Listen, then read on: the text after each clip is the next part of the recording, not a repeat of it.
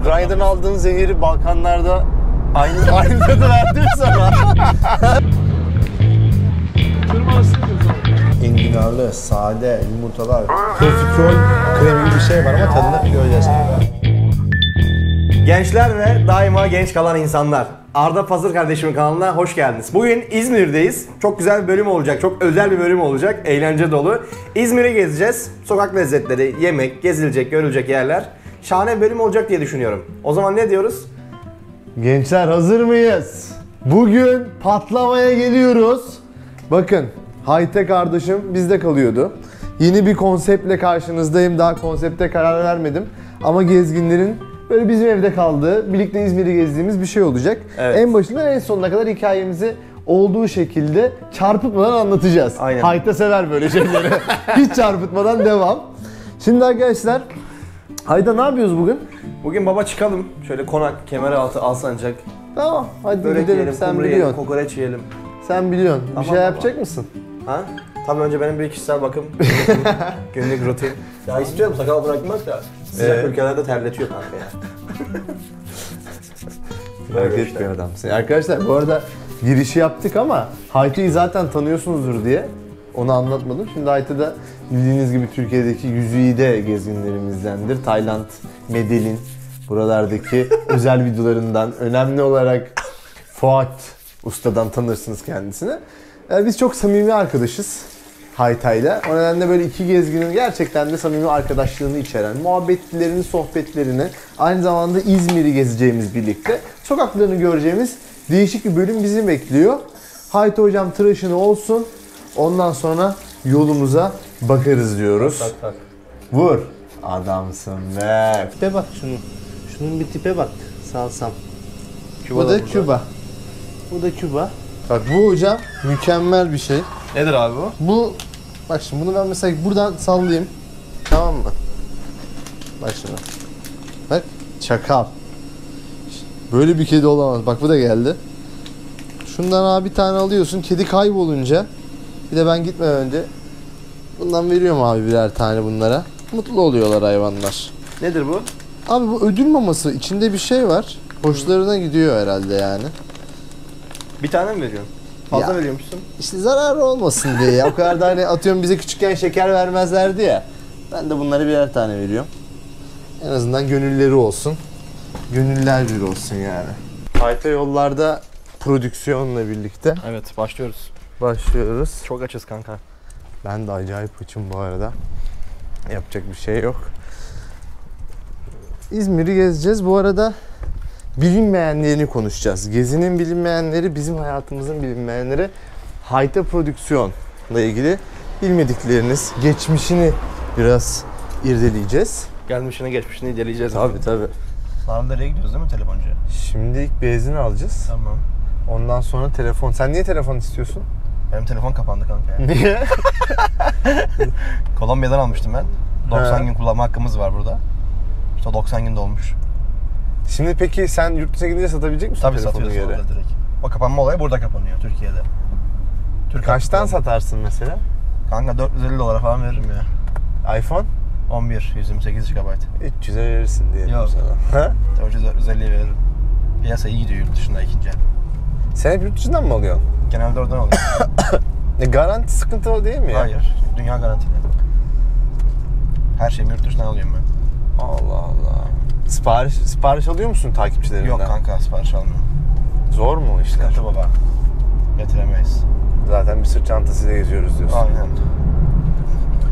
Şimdi bir ATM'ye uğrayalım da para çekeyim ya Finans Bank.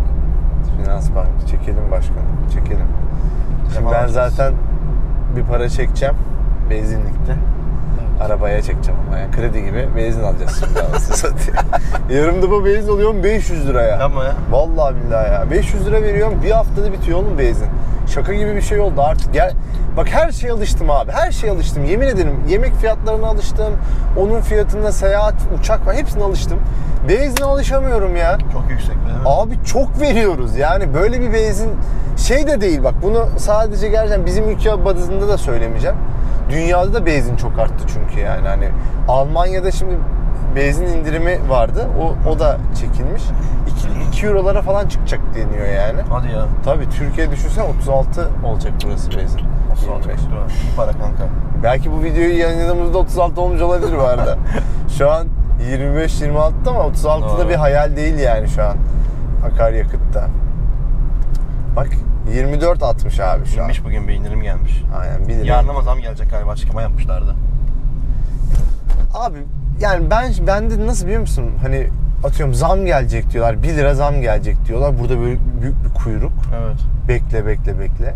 Abi ben 24'ü verdikten sonra 25'i de vereceğim. Kanka 100 de falan 100 TL çok bir şey değil aslında yani burada. Aynen öyle. Yapacak bir şey yok. Alacağız ve gideceğiz şimdi arkadaşlar. Benzinliğimize geldik. Petrol ofise. Şu anda litresi 24 liradan alacağım. Ondan sonra Hayte'ye bir telefon alacağız. Sonra İzmir'i gezmeye başlayabiliriz. Bu arada videoya başlamadan Az çok demeyelim, boş geçmeyelim. Yorum yapıp beğenip paylaşırsanız çok sevinirim. Ufak bir emoji bile olur. teşekkür ederiz. Hayte Bey, şimdi seninle ilgili merak edilen insanların anlatmadığın kısımları ben biraz yoklamak istiyorum. Tabii ki de kankam. Şimdi öncelikle yola çıkmadan önce senin bir hayatın vardı. Evet. Nasıl? Ne yapıyordun? Ya da atıyorum şeyden sonra nasıl oldu yani? Ortaokul bitti. Hayta yollarda neredeydi? Kanka ben lise 1'e kadar Antep'teydim. Doğma Memlekette. büyüme. Evet. Tamam. Lise 1'de okulu bıraktım baba dedim. "Ben yapmak istemiyorum okul okul dedim. Yapamıyorum yani sevmiyorum dedim. Ne ilgin vardı o zaman? Para kazanmaya ilgim vardı. Yapar mıydın iş? Tabii canım. Adam Ortaokulda. Kanki 6 yaşından beri hep babamın yanında çalışıyordum. İnşaatta çalışıyordum. Ortaokulda ben CD satıyordum. Sinema film falan satıyordum. Yok artık. Tabii canım. Oyun satıyordum kopyalayıp. Tamam. Haftada 200 tane CD satıyordum kanka. Yok artık. Tabii 1 Ee? liradan hiç unutmam. Tanesi 50 kuruş falan kar kalıyordu bana. Gayet iyi o zaman. Ortaokulda güzel parayla gezerdim ben baba. Okulun zengini gibiydim. Tamam. Liseye geçtin. Dedim artık yani şimdi baktım böyle etrafımda bizim aile okuyanlar vardı. Fabrikada çalışıyor dedim ben fabrikada çalışmak istemiyorum. Bıraktım okulu geldim İstanbul'a baba. Macera başladı. Restoranlar, kebapçılar. Bir dakika or sen ben lise 1'de tek başına İstanbul'a mı gittin? İstanbul'a geldim. Abim vardı o zaman orada. Tamam. O da benden 3 yaş büyük. Tamam. Beraber yaşadık sözde. O 3 ay sonra geri dönmek durumunda kaldı kanka Antep'e. Ben tek kaldım. Ondan sonra iş başa düştü baba. Çalıştık, evimizin kirasını ödedik, faturaları ödedik. Hangi iş kollarında çalıştın? Gıda sektörü benim full. 10-11 sene gıda sektörü kanka. Ne gıda sektöründe ne kebapçılar, garsonluk, komilik, bulaşıkçılık, ustalık, restoran müdürlüğü, bölge müdürlüğü. En son işte yola çıkmadan 3 sene önce kendi şirketimi kurdum ben. Tamam. Tabii onun öncesinde ufak bir dükkan da açmıştım. 9 ay falan işletmiştik böyle kahvaltı, çiğ köfte, kebap, kumru, midye. Her şey. Her şey. Her şey. Kuru fasulye bile vardı. Hazırlayıp donduruyordu folyolarda, buzluğa atıyordum baba. Tamam. Gönder. Para çekeceğiz unutmayalım. tamam. Ondan sonra abi restoran işte kendi mekanım tutmadı. Dedim ben bu reklam işini yapayım. Bunda güzel para var. Sosyal medya danışmanlığı, web tasarım. Ama bir anda nasıl öyle bir dijital atladın sen ya? Zaten çevrem vardı. Ben altyapıyı kurdum sosyal medyadan web sitemi açtım. Etraftakilere diyordum işte ben size iş vereceğim. Bana kaça yaparsın bunu? Sürekli vereceğim. O diyor ki 2000'i yaparım. Tamam ben de 2.5'a satıyorum abi. Tamam. Benim üzerimden yürüyor her şey. Kimse Tamam. benim çalıştıklarım adama Sen ulaşamıyor. aracısın tam. Tabii tabii. Elim bir şey sürmüyordu. Komisyoncu. Eee? O iş ilk bir, bir buçuk sene bana hiçbir şey kazandırmadı. Abi bir buçuk iki sene sonra tam ikinci senenin sonuna doğru böyle bir oturmaya başladı kanka. Instagram'a deli gibi reklam çıkıyorum, tanınmaya başladık. Firmalar çağırıyor, büyük markalar çağırıyor. Güzel ekmek yiyoruz. Ekip kurdum, ofisi açtım, evi değiştirdim. Ufaktan bir araba işine girdik. Araba işi dediğin ne? Bir araba almıştım bir tane o zaman. He. Aynen. İşte Ben tek araçtın zannettim Yok be. işte dedim pers- bir iki ay daha geçsin personellere dedim birer tane araba kiralarım. İşler büyüyor kanka güzel para kazanıyoruz. Üç tane adam vardı yanımda çalışan. Maşallah. Ee? Covid'li girdi baba. Selamünaleyküm. Mahvolduk. Gıda sektörüyle çalışıyorsun. Adam web sitesi yapıyoruz işte mesela Covid'den önce. Covid başlıyor adam kalsın site kardeşim diyor. Bu Covid'den sonra yaparız diyor. Of. Bir sürü iş iptali aldık öyle o haftalarda. Kimisine para iadesi yapmak durumunda kaldık. Batanlar oldu. 6'ya daha iş gelmedi kanka. İlk iki ayda falan dedim böyle bir şey yaşamadığımız için tecrübe bilmiyoruz. Çıkarmadık çalışanları. Maaşlarını verelim dedik. Yazık insanlar mağdur olmasın dedik. Cepten verdik. Daha sonra kredilere girdik. Baktım iş dönmeze girdi icabı. Baba dedim kapatır tezgahı. Gerek yok fazla daha batmaya. Bizden bu kadar. Aynen. Sonra bir Balkanlara gideyim dedim. Gittim baba. Hayır, peki Balkanlara mesela böyle bir şeyden kırıp da seyahat var mıydı hep aklında Bir sene öncesinde yani? gitmiştim. Ukrayna'ya gitmiştim. arkadaşımla tatile. Ha, Bir hafta. Orada zehri almıştım kanka. Tamam. Seyahat zehrini. Biliyorsun onu bir kere aldım yedim. Ukrayna'dan aldığın zehiri Balkanlarda aynı aynı tadı verdi mi sana?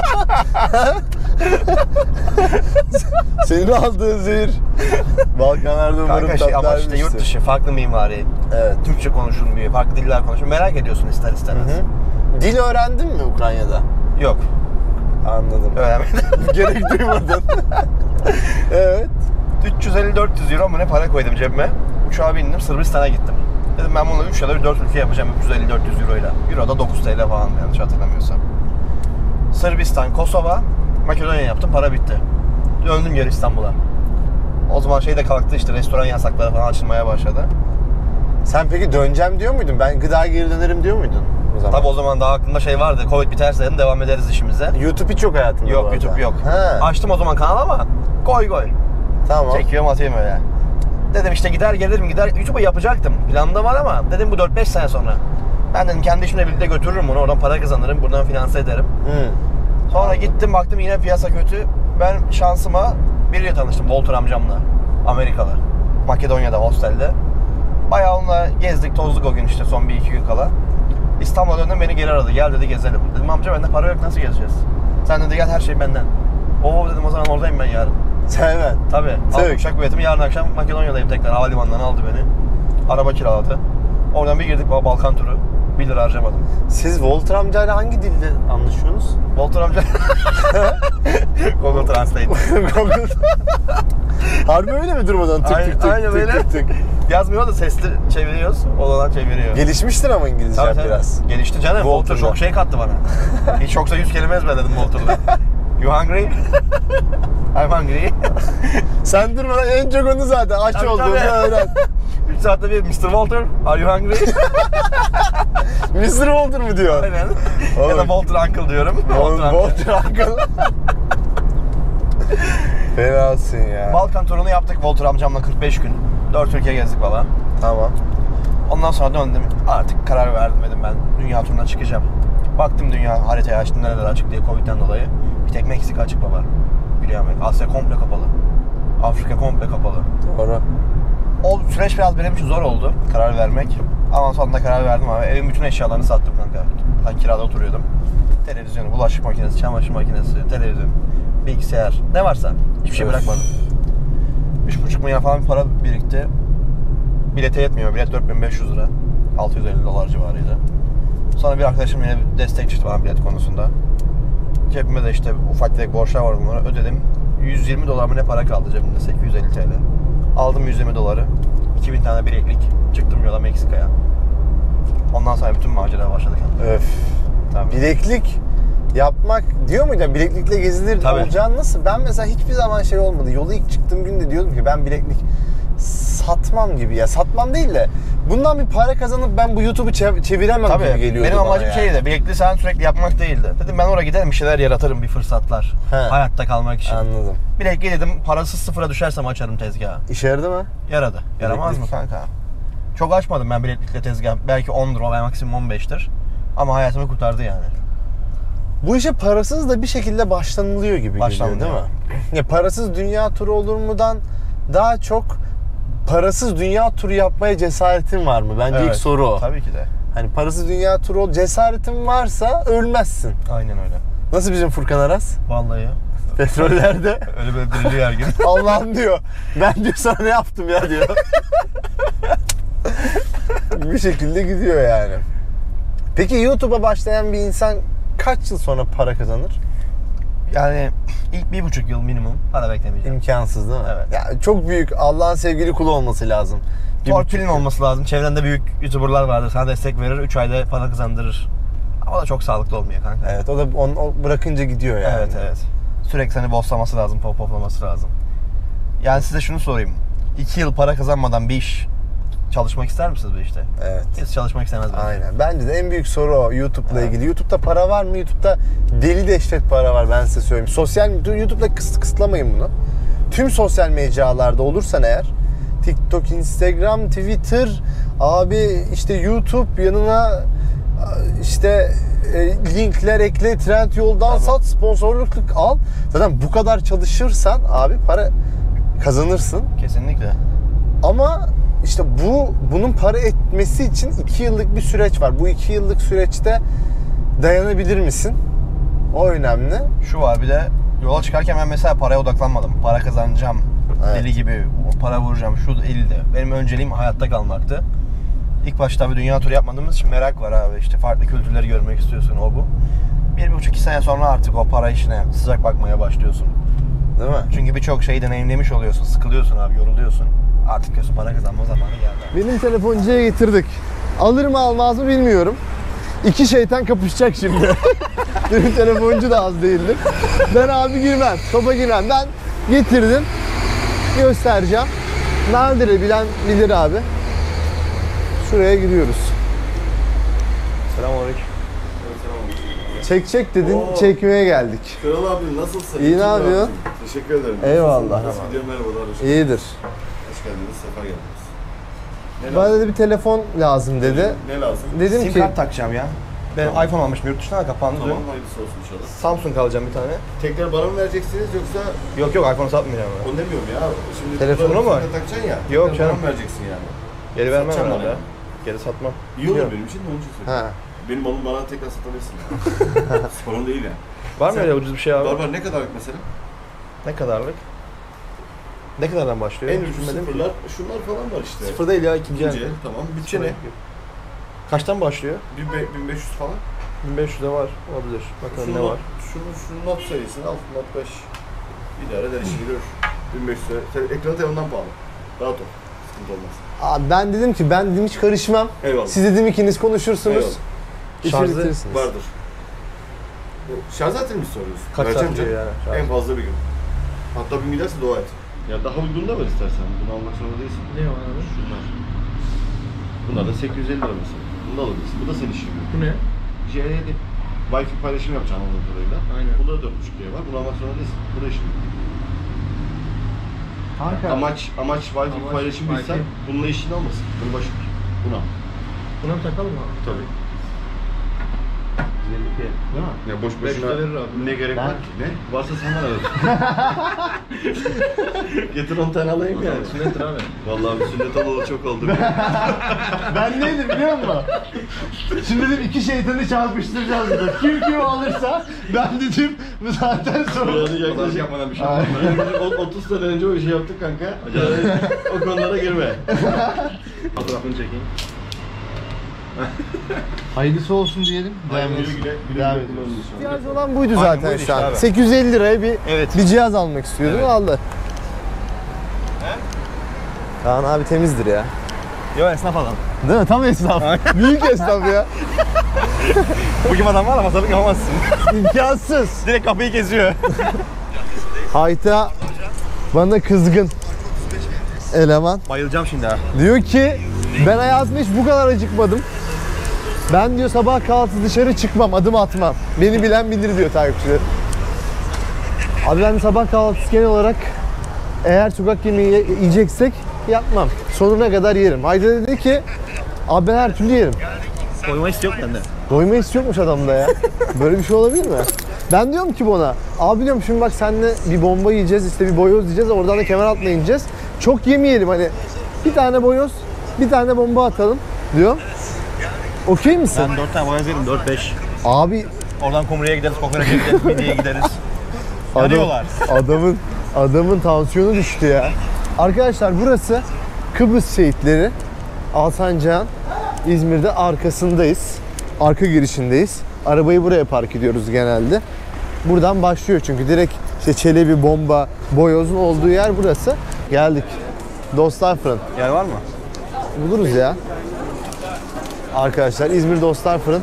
Bakalım buradan fiyatları gösteriyorum size. Bakın.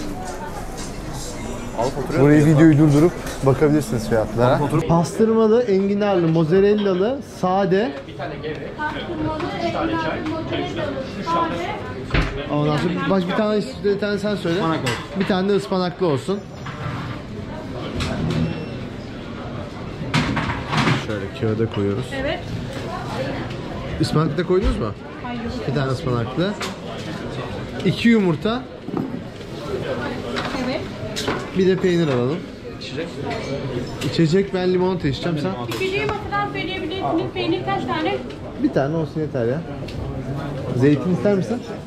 Olsun bir tane. Bir tane zeytin alalım. Yeşil siyah. Ee, siyah. Arkadaşlar aşağısı full olduğu için bakın şöyle. Sıra bir insan. Yukarı çıkalım dedik. O burası iyiymiş Edip. Güzel. Mesela burayı bilmiyorlar bence. Evet. Üst kat olduğunu bilmiyorlar. Ben de uzun zamandır yemedim bu arada. Bir tadına bakalım nasılmış. Çok geliştirmişler ya. Çok iyi. Tarafları yumurta. Teşekkürler. Sağ olun.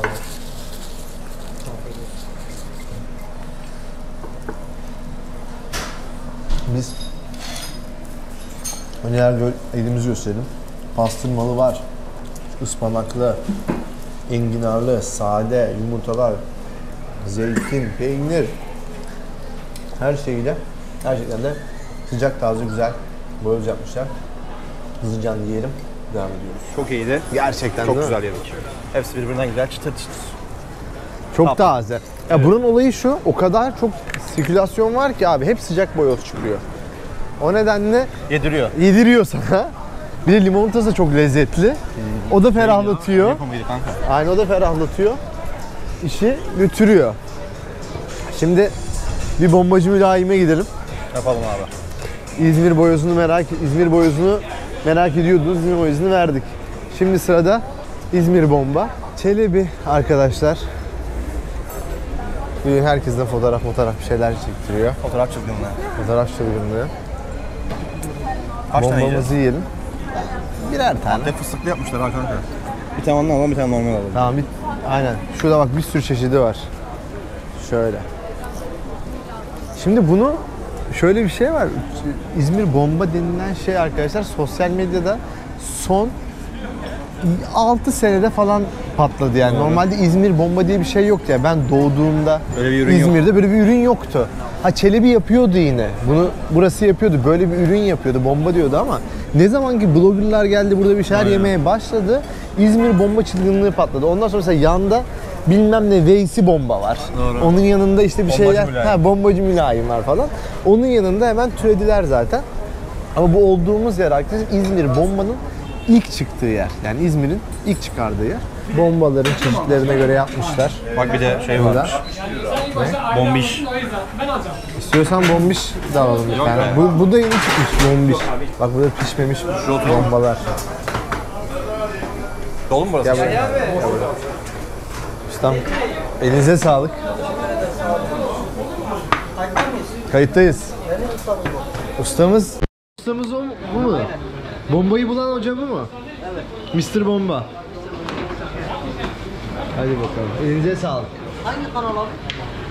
Kanal değil YouTube kanalı. Onu söyle. Arda Pazır. Takip et. Arda Pazı ve Kayta yollarda var orada da. Bu bombiş yeni çıkmış. Biraz daha fazla hamuru fazla. İçinde profiterol kremi gibi bir şey var ama tadını göreceğiz.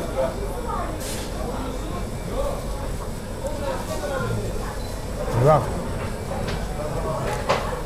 Tam anlattım ya. Fıstık çok iyi. Değil mi? Fıstığın içinden akana bakar mısın? Oo. Yani 3 tatlı 30 lira. Belki pahalı gibi ama malzemesi hak Kalite. ediyor. Kaliteli abi. Devamında kemer altına giriş yapıyoruz. Gel seni şuradan bir göstereyim gel. Şurada ne var bunun solunda buranın? Saat kulesi var zaten. Ha sen biliyorsun zaten. Arkadaşlar saat kulesinden başlıyoruz. Bir saat kulesini size gösterelim.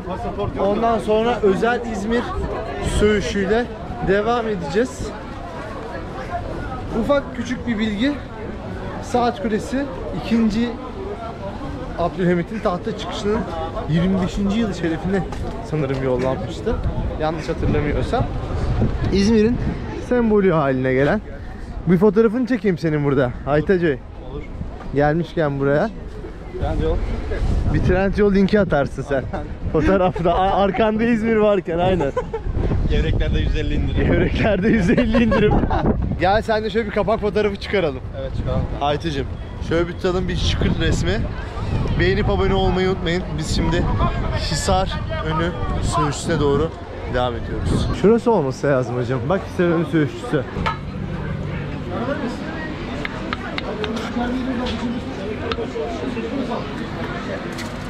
Tamam hocam. Kırma arası yapıyoruz abi.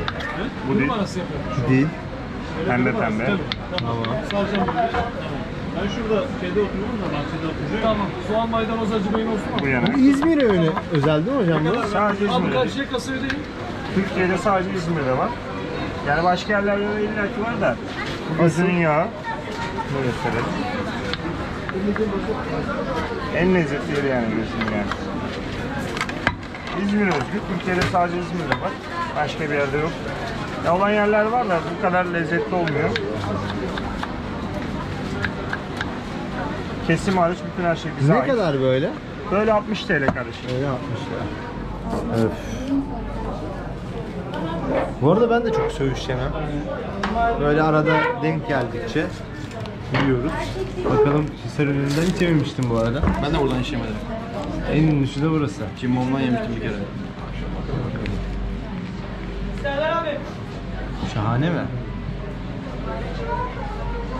Karpuz. Çok iyi. Değil mi? Yüzümden öyle bir şey aldım enerjiyi yani. Mutlu oldum şu an.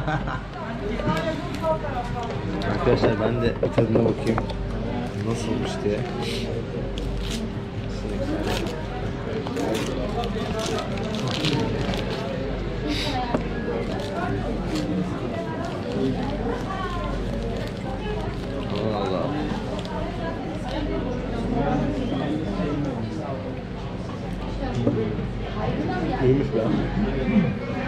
İyiymiş. Kokoreçin ata- atası mı kanka? Aynen. Çok kokoreç tadı var. Kokoreç seven adam bunu da sever. Yani kokoreç seven adam, sakatat seven adam bunu da sever. Bundan sonra kaçacağız mı? Arkadaşlar böyle hızlı bir hani İzmir sokak yemekleri deyince benim aklıma gelen boyozdur, bombadır ve söğüştür. Biraz İzmir'e has olan kısımları. Size tadıp biraz da Haytay'la makara muhabbeti yaptık. Yarın Haytay'ın kanalında daha kapsamlı böyle İzmir sokak yemekleri kemer altında böyle patlatacağımız bir bölüm geliyor. Haytay'ın kanalının altta bırakıyorum linkten. Bu onun videosunun linki de aşağı bırakıyorum. Oradan takip edebilirsiniz. Bugünlük bizi aydan sürenin sonuna geldik. Herkese teşekkür ederiz izlediğiniz için. Yorum yapıp beğenip paylaşmayı unutmayalım. Bize afiyet olsun. Size de başka bir videoda görüşmek üzere. See you goodbye. Have a nice day.